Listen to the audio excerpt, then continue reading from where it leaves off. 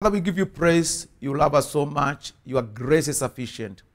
Cover us with your presence. Let the blood of Christ reach out to people through this message. And Lord, as we continue with this the work, this work, your presence confirm us. In Christ we pray. Wonderful. I'm Bishop Peter Gatimu reaching out to you from Apostolic Faith Church Bahati. Thank you.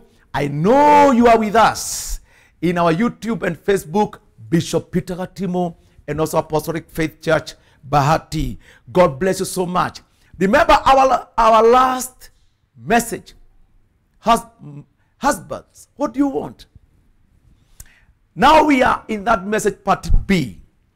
I want to introduce to you uh, something, some of the expectations of your husband. Husbands, and please, let me say this, wives. If you want to study something, be faithful to it. Like, no, this is a chair. You can't be so critical to this chair to an extent you demand that this chair turn around to be bed. You can only be faithful if today you are doing a PhD in zoology. You can only be so faithful to the creation the way it is, and you study deeply. If today you are studying about Bishop Gatimu, you can't be so critical and expect to know me. You can only be critical in a faithful, relevant way and, and discover Bishop the way God made him. Uh, some wives want this. You want the husband who never exists. You demand a husband who is not. If you enter into marriage, first of all, accept this is the husband God has given me. I want to give you a key. Instead of setting some demands, this is something that I have learned is practical because we need to we need to share things that are workable. Can you spend one year or two years study your husband faithfully? I know he has weaknesses, but you can master. If today we are able to tame a dog, a wild dog, how do we do it?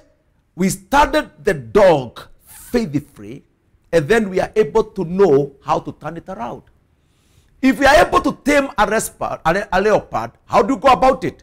If you are you are approaching a very wild leopard, the first thing you do is to study it faithfully. Understand the instinct. understand the response, understand the creation, understand the mind, the setup and attitude. And then from there, you can tame the leopard.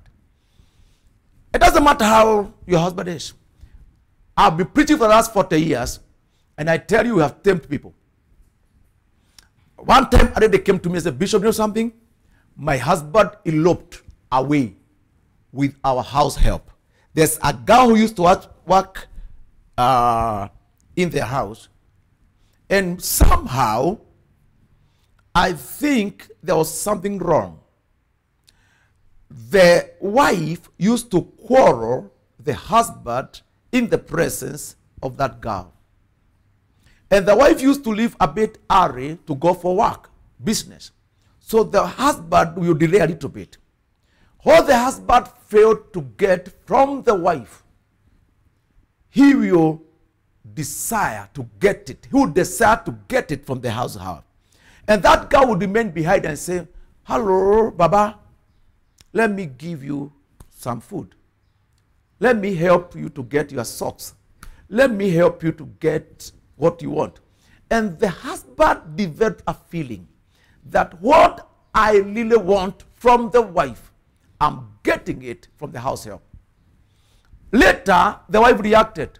And the man said, No, no, no, no. This is the order.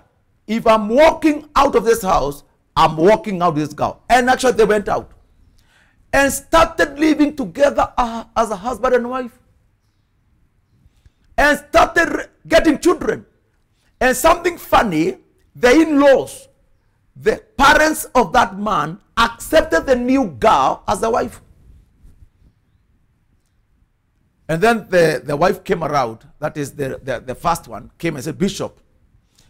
And I, I sensed she was suffering from stroke. The experience was so severe. And I tell you, it was power, it was painful. I said, Bishop, please help me get back my husband. One, we needed two things. One, power of God to intervene. Number two, the love of the love that this man is looking for. We prayed and prayed a lot. And finally, I know some prayers are working. I said, God, because of this woman, I declare that that other relationship you destroyed. And I fasted about it. And they had one kid. And they little differed. And the man who never knew me came around the church and said, Bishop, I believe you are the pastor to my wife. Yes, please help me get back my family. And I thank God that today they are church leaders and they are settled in their own property. Whilst the, and the wife today loves that man. Hey, wonderful. The first mistake, the mistake that was there in the beginning was never repeated. And that is very important. Very important. The Lord is powerful. So I would like to share with you some of the expectations of that husband that you have. One, I say to you, please, this new man, don't assume he is your husband until he's made your husband. He is your husband legally. He is your husband at a covenant. But in practice, you need to have this man transformed to be your husband. The same thing, the husband need to do something to make the wife a real wife. What you have initially is a man who has never been in a marriage. And now, I, I always tell people, it is very easy to wed, but it, it takes time to marry. Work out. Marriage is an experience. Wedding is an occasion. And young people, be careful. Because you just get to marriage and assume, we are married, we are married, we are good. You wedded, but work out your marriage. And what I can say in this issue today is you as a wife, take at least one year or maybe some months to go to what you call the school of my, hus my, my husband. Study that man. Study him. However weak or strong he is. You know, I, I, I met a single lady who said to me, Bishop, please, if I want to get that husband who is being thrown out of the house. I want to get that man whose wife is saying is nonsense and useless. I said, now, why do you want to get somebody's husband? Because it is easy to nurture a man who had existed in a marriage before. What else? She said to me, I am able to build that nonsense into sense. I'm able to build that useless into useful. I'm able, she said, I'm able to build that man who is non-performing, even in sex, to a powerful man in bed and in life. He said, give me the weak I'll build to be strong. What, what are you looking for? I, said, I just look for a female. I have capacity to make my own man. And I say, it's interesting. It's not the first time I heard from the, uh, I've heard that. And one uh, such woman came to my office and said, Bishop, I've existed as a single lady, and I had uh, a funny, uh, evil life. I always take away people's husbands. And she said to me, the one I have in my house, we've stayed over so for, for, for some years, and, um, and I was interested to know, how do you get people's husband? She said, Bishop, eh, she said, Bishop, it's so easy. I just need to get him in my room. Bishop, we want, we know how to create men from people who appear to be not men. And she said what they do and the way they the way they keep them. So she said to me, No, no, Bishop, I got saved. I want this man out of my house because let him go back to his family. I said, No, it's okay. He should get out. And she said, No, no, you know something? He has refused to get out. He is saying, If I go back to my former, to my wife, I'll not survive. He said, You are, he said, This is like a prostitute. This woman, you know how to take care of me. And you know, this man got some millions of money and purchased 15 acres prime light land for this prostitute or for this single lady. So I'm saying to you, uh, I'm, I'm, I'm sharing, if you really want marriage, marriage is created. Don't demand it if not worked for it.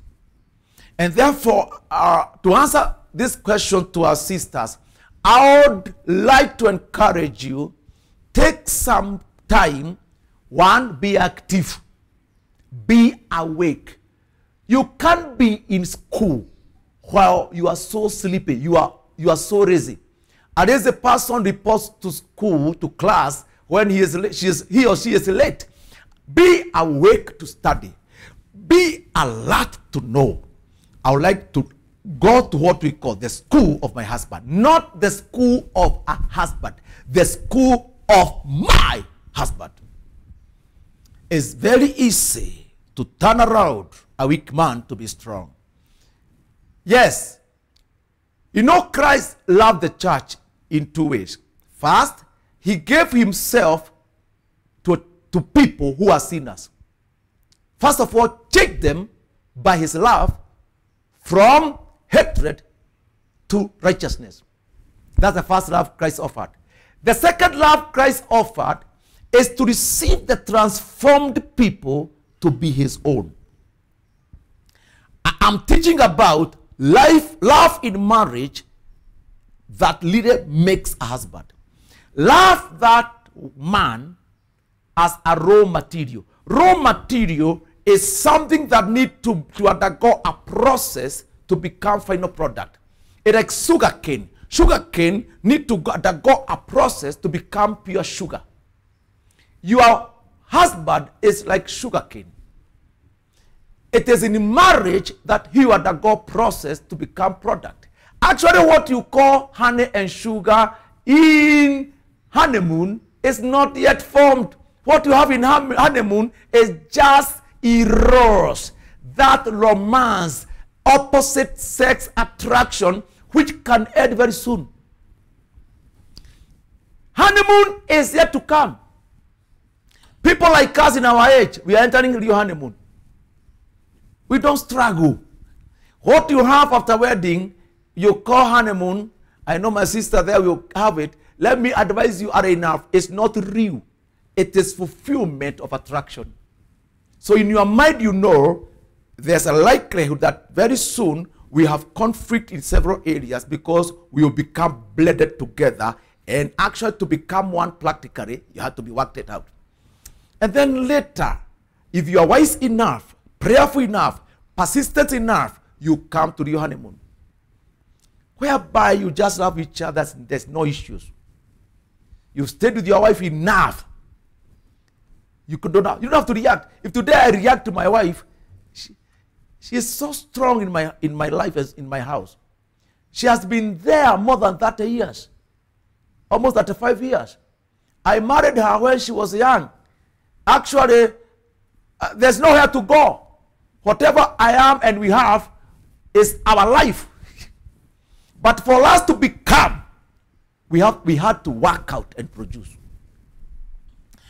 And actually, as we handle this issue, I would like to tell wives, please, it's very easy if you just reach out to the heart of the man and you practice the love of Christ for some time, you will get the product.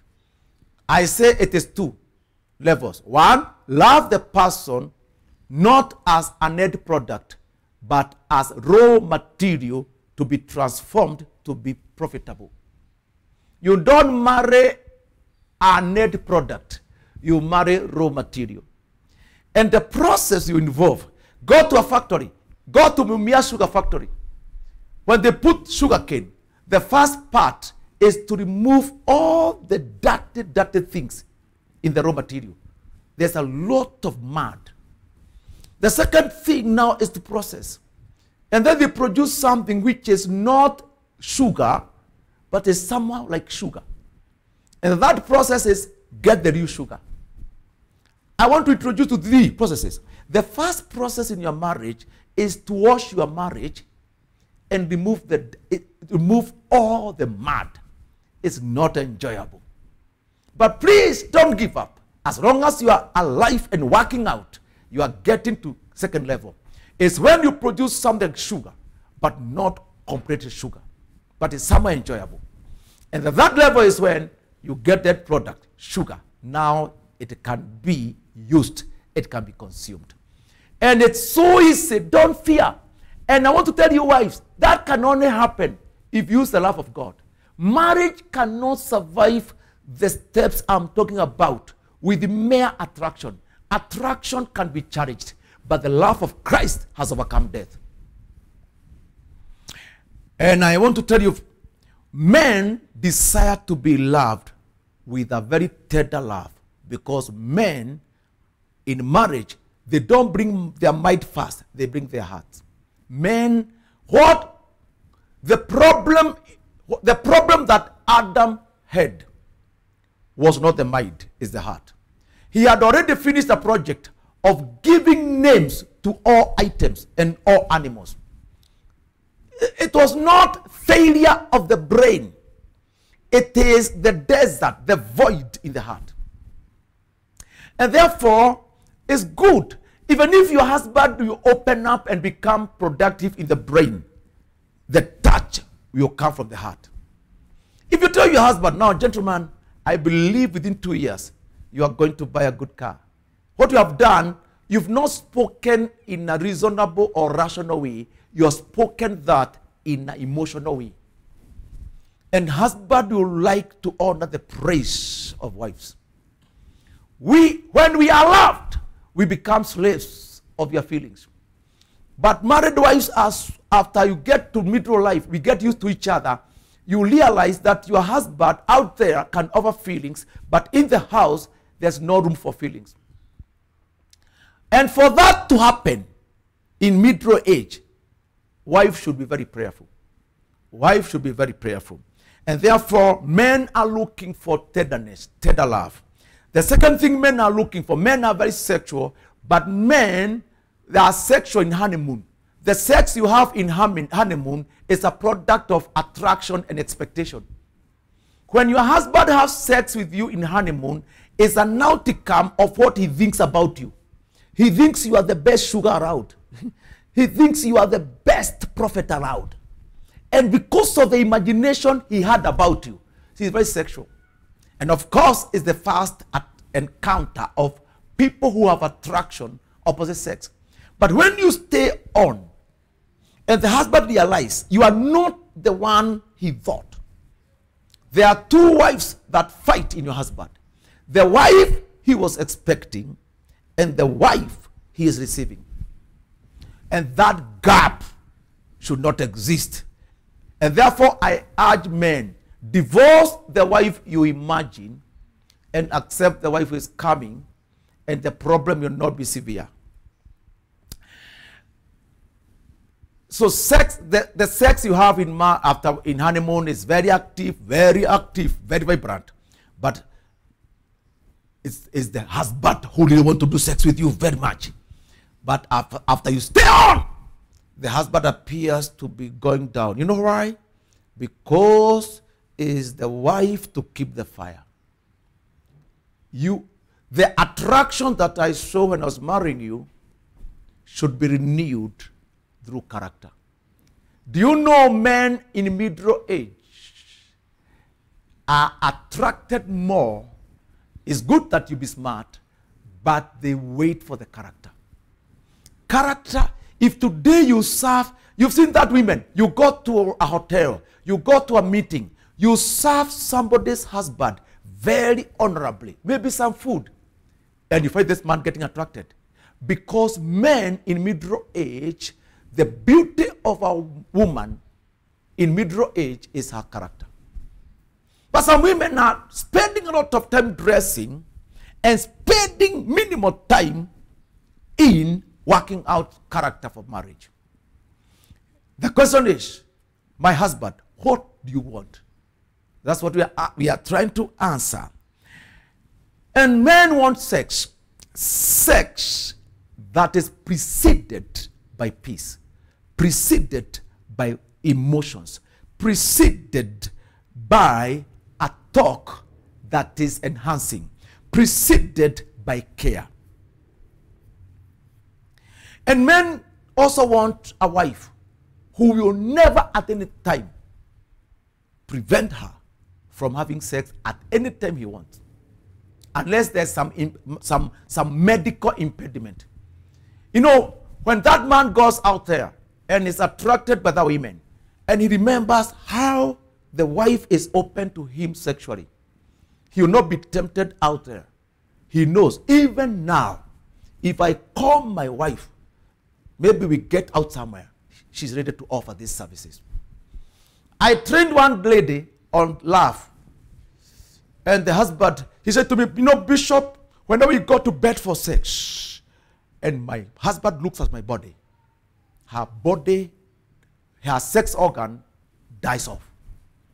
I said to my wife, You are the cause. I trained her on how to touch the heart and the feelings of a man. And now they have become so vibrant. So one time we were in the office, my office, and the husband called. I said, No, you go to your husband.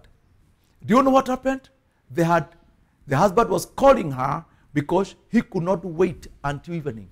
He said, I just feel at the middle of the day, I stop everything and go out summer for sex.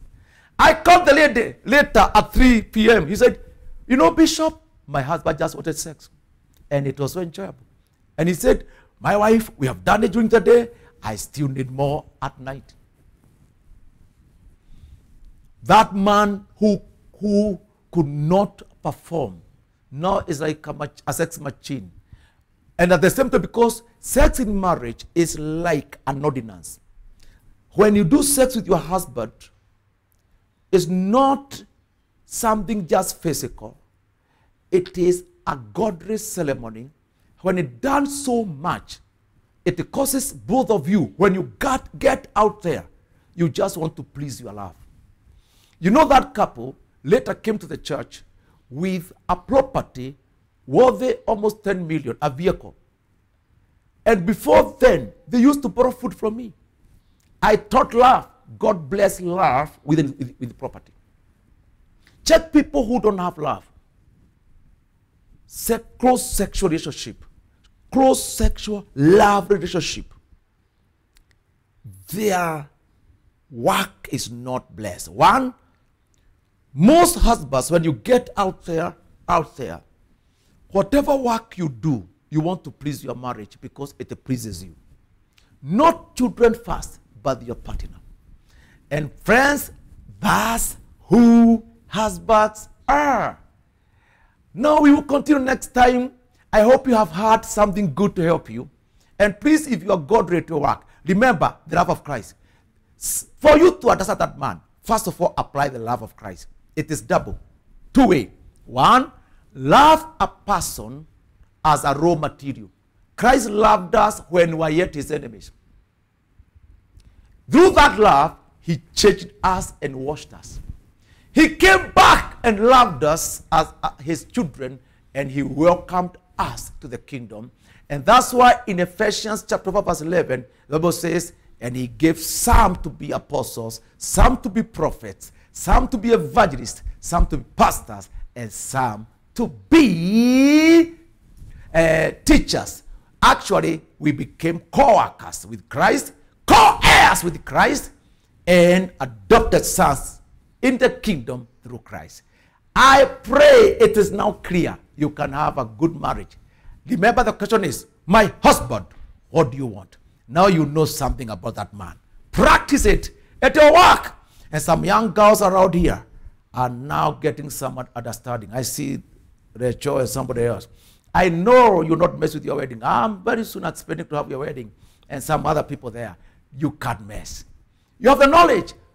We who have been there can tell you, you can avoid some pitfalls. You don't have to suffer because other people suffered. They suffered to make sure that when you come, you don't undergo the same pain that they underwent.